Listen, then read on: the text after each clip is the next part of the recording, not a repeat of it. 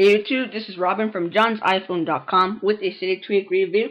This tweak goes by the name of HiddenMail, one word available on Cydia for free from the Big Boss repo. So what HiddenMail does is it hides your email information, tricking your device, showing like if you have an email, never had an email enabled on your device. To show you guys what I'm talking about, if you guys go into your mail app on your iPod or iDevice, oh, I open it up and it says welcome to mail.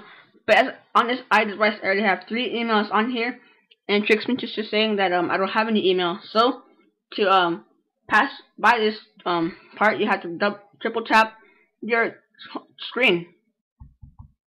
Now you guys can see there, my email is now opened.